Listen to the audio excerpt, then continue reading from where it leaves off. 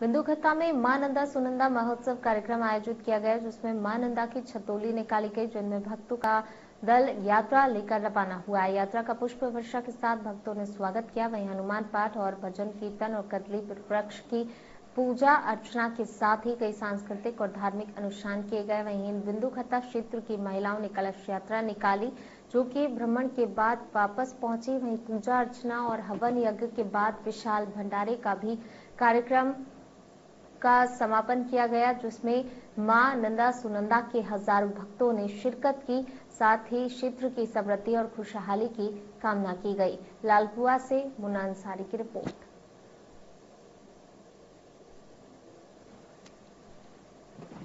यहाँ पर माँ का शोभा यात्रा निकाली गई, कलश यात्रा, भव्य कलश यात्रा निकाली गई, और जिसमें हज़ारों लोगों ने यहाँ पर भाग लिया था, और शुद्धकरण से माँ की कलश यात्रा यहाँ से प्रारंभ हुई और नगर का भ्रमण करके वापस यहाँ पर सुरक्षित आई है और ये माँ का आशीर्वाद।